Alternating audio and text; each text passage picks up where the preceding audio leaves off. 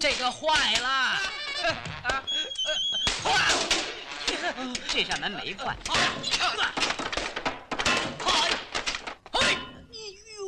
你先来。你绝对没见过这么淡定的女人。在发现被三个恶霸盯上后，脸上却露出一抹微笑，紧接着引恶霸来树林，再用妩媚的笑容打量着他们。恶霸被女子的容貌迷得神魂颠倒，急不可耐地走过去，谁知一群手拿锄头的男人跳了出来，剥削我们工钱还不算，还要调戏妇女啊！打！原来他们是满洲十棍之三，武艺高强，身手不凡。对手虽多，可都是一些普通人，只有挨揍的份。关键时刻，树杈上闪现出一个和尚：“我来也！阿弥陀佛！”自称是少林高僧三德大师，要来主持公道。紧接着问这些人为何动武，包牙急忙附和：“石棍欺负他们，还克扣工钱。”说完就要开打，三德伸手阻拦。三棍急忙开溜，回去之后将此事汇报给染房主管。主管听后并不相信，天底下哪有这样的事？然而就在这时，三德带着众人追来。这位就是少林高僧三德和尚。为什么在三德高僧面前搬弄我们染坊的是非？你要花多少？你说个数目。我五十两。谁知眼前的大师居然心动了。原来此人并非真正的三德和尚，而是包牙的发小小刘。主管被吓到，认怂了，答应如数归还工钱。众人欣喜若狂。然而高兴不过几天，就遇到了麻烦。染房老板出差回来，得知此事，不免心生疑惑。虽说少林高手如云，又怎会突然来这里呢？老板便以做客为由，请三德来露两手。原来老板也是练家子，而且功夫也不弱。小刘本打算像之前一样糊弄过去，可老板硬是让他跟自己切磋武艺。谁知小刘刚出手就摔了个狗啃泥，老板起了疑心，果断出手试探。啊，你石棍冲上前，将小刘狠狠地修理了一番。大伙想要阻止，可他们哪里是石棍的对手？原来小刘并不是什么高僧，而是一个游手好闲的江湖小混混。平时假扮和尚，在街上化缘赚点小钱，并没有什么真本事。原本发小包牙和小红在染房上班。可因换了新老板，极其黑心，要强行扣下所有工人两成工钱。工钱本就少，如今又要扣两成，大伙不服。谁知老板请来江湖高手满洲石棍来对付他们，很多人被打成重伤，只得认怂。那天，包牙在街头看到发小小刘乔装成和尚化缘，便心生一计，让小刘假扮成高僧，替他们讨回公道。虽说这小刘不学无术，可为人仗义，于是爽快答应。结果就出现了故事开头的那一幕：由小红使用美人计将石棍引到树林，再让小刘扮作高僧施展拳脚功夫。虽说骗过了石棍，可还是被染房老板识破。晚上，大伙伤痕累累的回到家，他们开始埋怨小刘的演技，说他没有真本事。小刘伤心不已，为了习得一身真正的武艺，他决定前往少林。不久，小刘来到山脚下，看到一群和尚在打谷子。一招一式之间尽显武艺，小刘便凑上前看热闹。老和尚还以为他是自己人，谁知一打谷子就露了馅。小刘为了面子，便假装自己是北少林高僧。小和尚倒是被唬住，可老和尚见多识广，将他当场拆穿。为了能成功混进去，小刘想出一计阴招，趁和尚挑菜上山时，在路边摆了个茶摊，在茶里加了点巴豆。果不其然，一个倒霉蛋来了，因太渴。忍不住连喝两碗，喝完之后挑上担子继续上路。然而没过一会儿，药效发作，得赶紧找个地方解决。小刘趁机挑起担子就跑。就这样，小刘成功上了山。可进门时却被看门的拦下。原来小刘挑个担子都左摇右晃的，看门的起了疑心，问小刘：“三十六房，你是哪一房啊？”“当然是厨房了。”结果可想而知，被赶下了山。真是服了，来之前也不好好打听打听。下山的路上，小刘听人说，明天是三十六房俗家弟子返寺的日子。小刘灵机一动，做了个假发，乔装成俗家子弟混了进去。谁知入寺后机关重重，第一关飞沙走石，练过的使用马步通过沙地，没练过的碰到机关哭爹喊娘的。小刘想出一计，翻过栅栏躲了起来。正欲研究如何踩脚印过去时，看守机关的主持走了出来。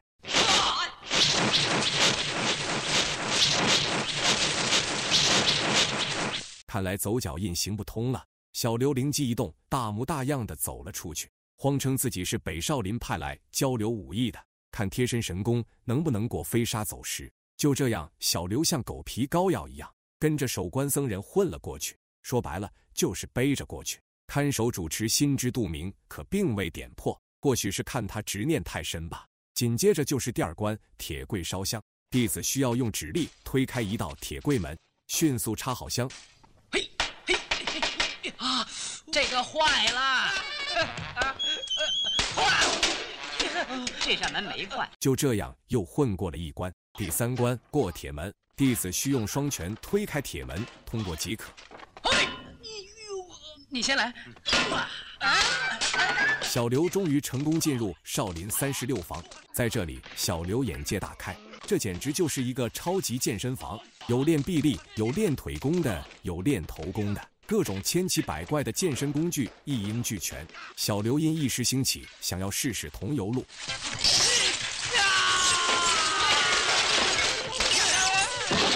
这时，正宗的三十六房主持三德和尚来了。小刘急忙跪下拜师，三德问他从哪里来的，小刘慌称北少林。三德觉得奇怪，北少林也有俗家弟子。小刘又来了点子，谎称新收的。三德并没有将他拆穿，而是让他把头洗干净再来拜师。不过洗头的方式很特别，不能用桶来打水洗，而是用水花来洗。用石头打水，真是千古奇闻呐！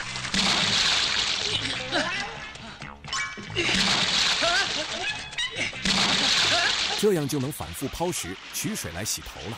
可折腾到天黑，还是没有洗干净。半夜，小刘悄悄来到井边，无人时，想要把假发放在井里洗一洗，谁知被人发现。小刘只得静下心来，使用各种方法来完成。几天之后，小刘终于把头发洗干净了，臂力和体力也得了提升。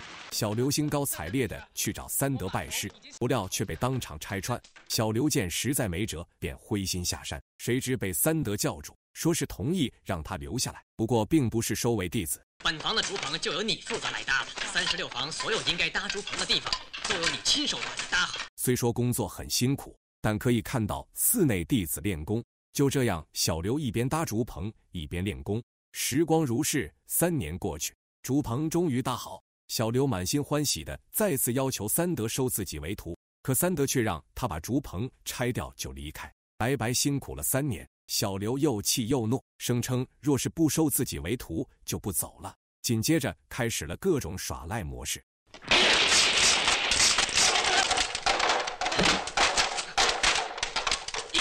我就是不走。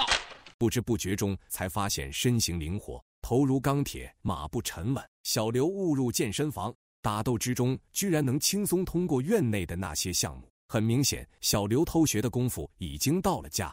可三德还是板着脸将小刘赶下了山。就这样，小刘满是惭愧的回到了家。你在少林寺学成了功夫，下山来。我在少林寺一点功夫都没学到。你在少林寺干什么？搭猪棚。大伙不信，还以为小刘又在演戏。小刘很是激动，谁知却不慎把包牙抛飞了出去，还说没有学到功夫。大伙找到小刘。逼着他出手，果不其然，小刘身手矫健。这时，小刘才恍然大悟，原来自己已经学到真功夫。隔天，小刘穿上袈裟，来到染房，找到石棍，要为大伙出头。怎么，你会功夫？这两下算什么功夫？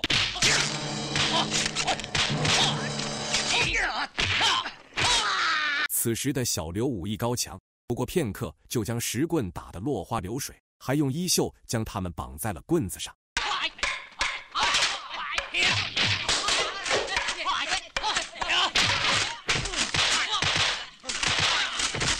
老板闻讯赶来，看到小刘，一脸轻蔑的说道：“又是你！”谁知接下来看到小刘暴打手下后，就不淡定了。看来我今天真是要试一试少林寺的功夫。大决战选在空旷的地方。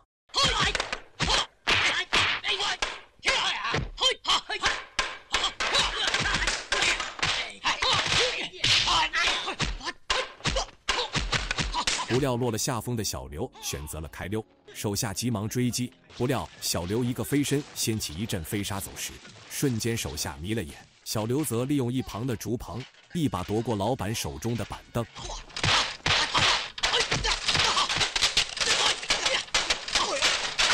如果我不留手，你不是伤就是死。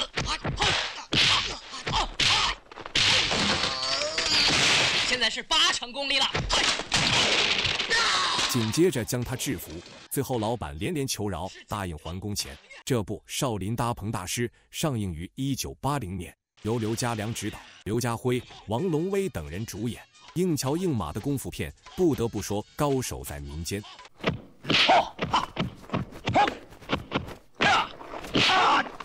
你的绣花拳还是有拳风的，让我来打给你看看。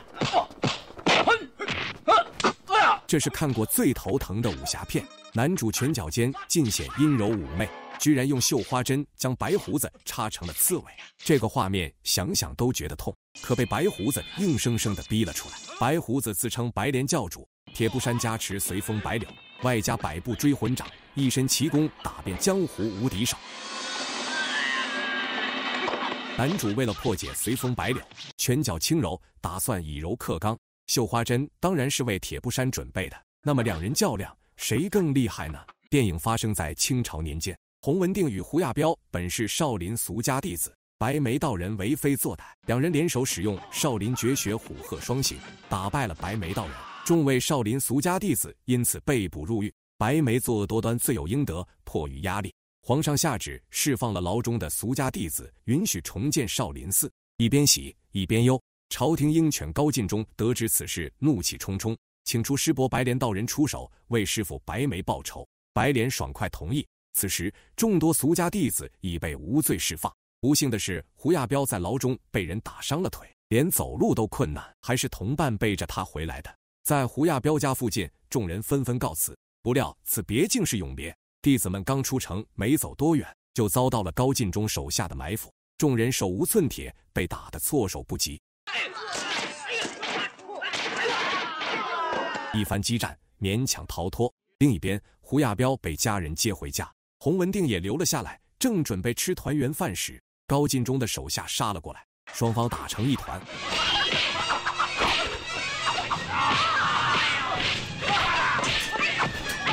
杀手们人多势众，几人逐渐不敌。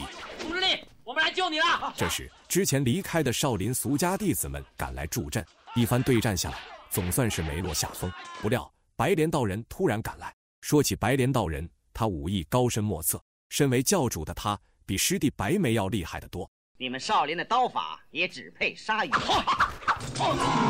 其实杀你们这班人还用得着刀吗？一番较量下来，在场无一人是对手。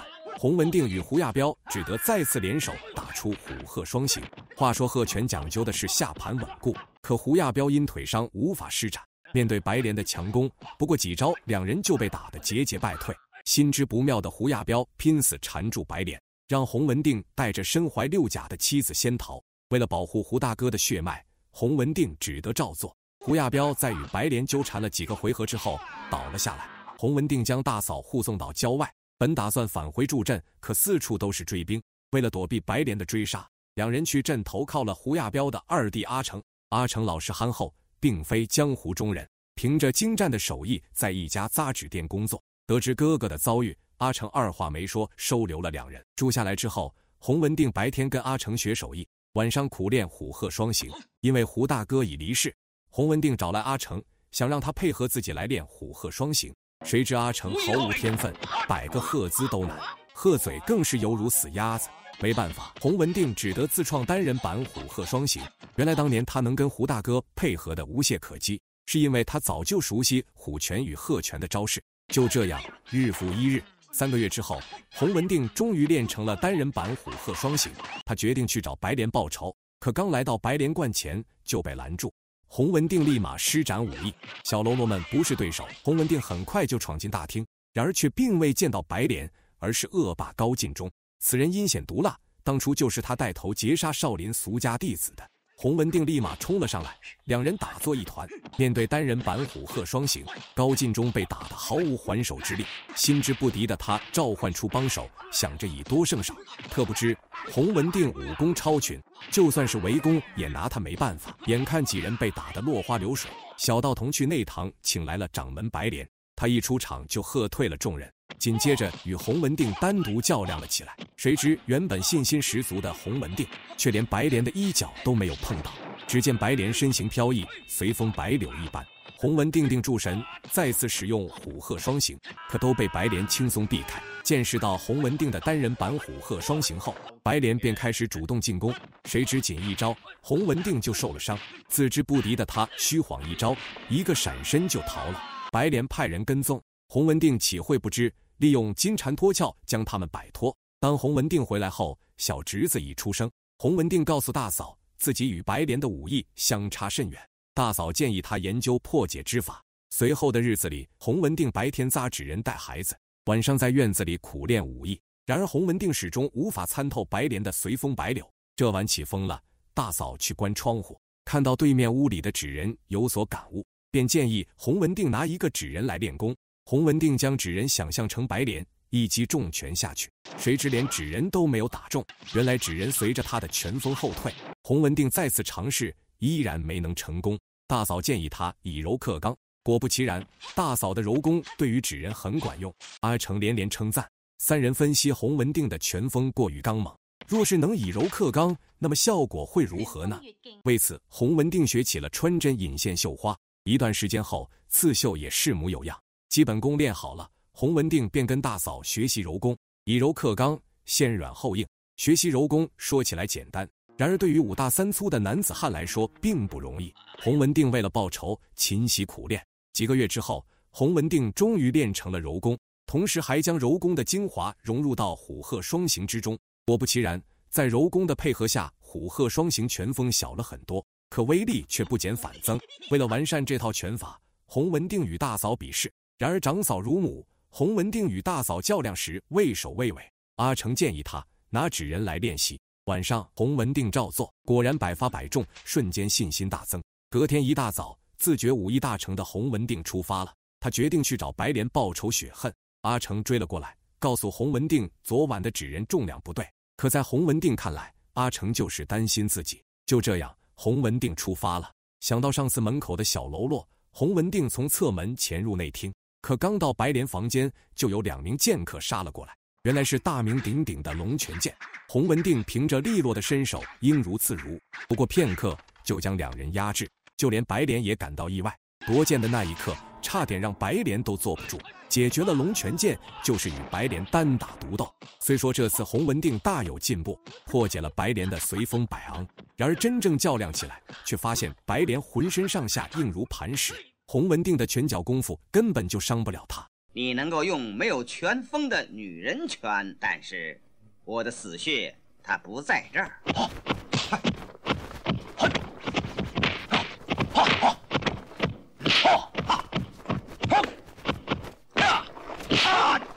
你的绣花拳还是有拳风的，让我来打给你看看。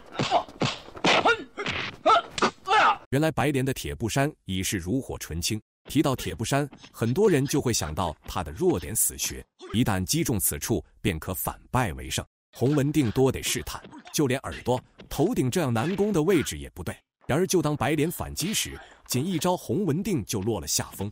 最后用百步追魂掌将洪文定打成重伤。然而并未取他性命，而放走了他。原来白莲心里明白，普通人若是中了自己的百步追魂掌，一动不一静，走不出百步，必死无疑。可他千算万算，忘了守在门口的阿成。看到重伤的洪文定，阿成二话没说，将他背回了家。紧接着，阿成又向扎纸店老板求助，不料纸扎店老板并非普通人，而是精通医术的针灸高手。他一眼就看出洪文定中了百步追魂掌。立马施展针灸为洪文定疗伤，就这样，洪文定死里逃生。隔天，老板送了一本关于穴道的书籍给洪文定。想到白莲的铁布衫，只有找到死穴才能破解，洪文定便开始研究穴道的位置与变化。这天，洪文定突发奇想：若是用绣花针打击穴道，杀伤力会不会更强呢？